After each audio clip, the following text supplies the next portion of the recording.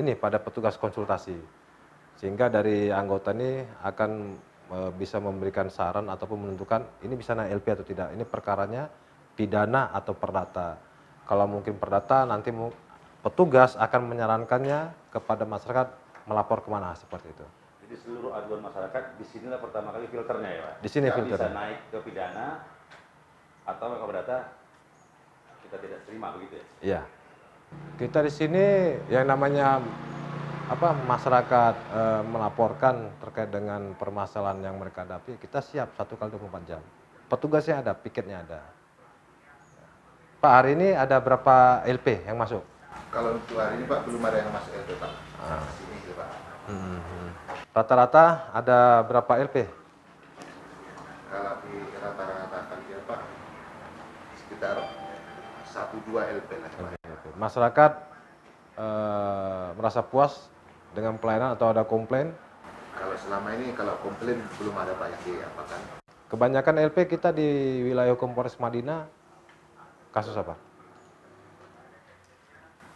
Kalau yang biasanya Pak perkelahian, uh. habis itu pencurian sama asusila Pak. Nah, tapi yang jelas masyarakat uh, dapat terlayani dengan baik ya? Siap Pak. Ya, kita layani dengan baik Pak. Ya, harapan saya sebagai petugas yang bertugas di uh, eh, SPKT memberikan pelayanan yang terbaik untuk masyarakat. Jangan sempat ada komplain. Ya, kita berusaha untuk memberikan pelayanan yang terbaik kepada masyarakat. Karena nanti kalau memang ada komplain ya personil yang akan menanggungnya sendiri. Siap, Pak. Ya. kami usahakan untuk melayani masyarakat kita dengan sebaik-baiknya. Dan yang terpenting jaga kesehatannya. Siap Pak. Ya, selamat bertugas ya.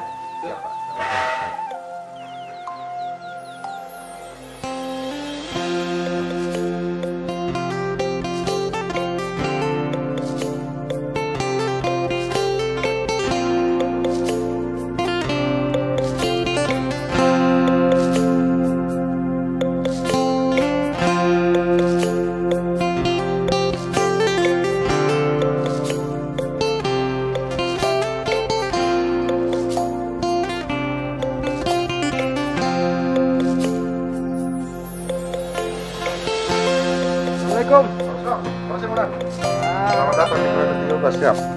Hmm. Siap. Sehat ya? Siap. Ada Kamil? Siap, siap. Boleh duduk-duduk? Agak sana. Ayo, siap.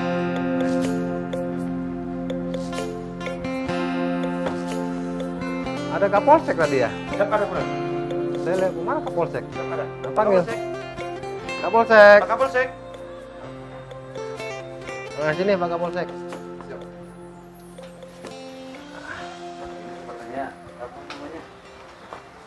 Jalan kepolisian dengan TNI itu sinerginya luar biasa di sini. Uh. Ini jarang-jarang dia. Siap. Dari Polres ke Peramil. Jarang pak. Jarang pak ya. ya. Kalau saya sebagai dan Peramil menyampaikan apa adanya kepemimpinan Kapolres kita Kabupaten Natal, beliau sangat erat berkomunikasi dengan kita TNI tanpa pandang bulu pangkat dan jabatannya pun apa. Padahal kita sebagai dan Ramil atau Peramil malah malu sendiri Ya artinya beliau sebagai Kapolres, tentunya saya Pak, saya sampaikan secara pribadi, beliau sangat rendah hati. Enggak artinya saya kan Kapolres gitu. Cuma kita yang malu sendiri bermutu seperti itu. Asalkan ketemu sama beliau, jelas kami berdua sama Pak Kapolres itu pasti salamnya salam ji, salam jidat. Siap. Di mana pun tempatnya seperti itu. Makanya ini juga suatu kehormatan buat saya Bapak Kapolres mendatangi kami ke sini.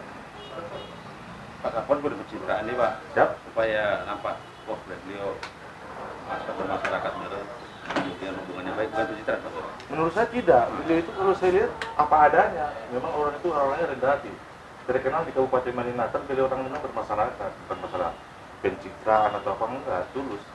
Ihdinas siratal mustaqim pada jalan yang lurus, nggak ada niat apa-apa. Dan bukan karena ini juga, beliau memang sering sekali datang ke ke ke Koran ini. Malah dirindukan para jutaan kalau beliau datang. Ya, sering sekali bukan karena ini aja.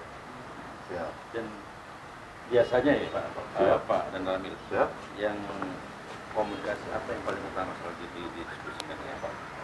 Yang jelas didiskusikan dengan Bapak Kapolres tentang ya keamanan lah, ketertiban sesuai dengan kami dengan Muspika juga dengan Bapak Kapolres. Kami bukan kami bagus.